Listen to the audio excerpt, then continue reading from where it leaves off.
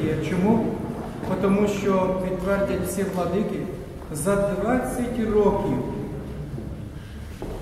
глави конфесій не зустрічалися між собою. На такому рівні, на якому ми зустрічаємося нині в державному драмтеатрі, а тим паче під головуванням нашого губернатора. Я хочу подякувати владикам, які сьогодні присутні, це не тільки владиці Рівненському Острозькому митрополиту Варфоломію, владиці архієпископу Рівненському Острозькому Іларіону, владиці митрополиту Львівському Макарію, представнику греко-католицької церкви.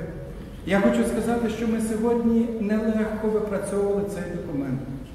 Тому що якщо в інших єпархіях мирно і доброзичливо, то на сьогоднішній день між іншими єпархіями, як Української православної церкви, так і Української православної церкви Київського патріархату, відповідно є складності.